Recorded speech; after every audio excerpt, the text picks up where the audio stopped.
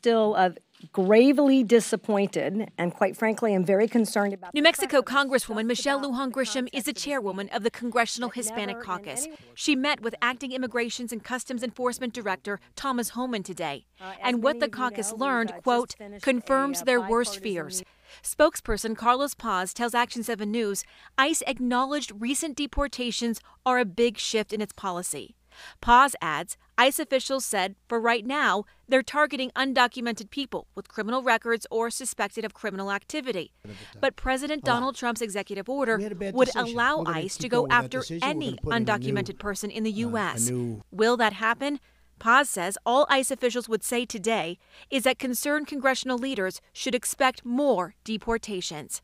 Paz says the Hispanic caucus and Lujan Grisham worry this is leading towards mass deportations. our caucus will continue to demand answers, demand meetings, Tensions were high before the meeting began. Lujan Grisham and others showed up, but several members of the Hispanic caucus were blocked from going in. Which sends a chilling message to the Hispanic caucus that the Hispanic caucus was disrespected. Lujan Grisham says ICE officials did agree to meet with all of the Hispanic caucus members at a later date.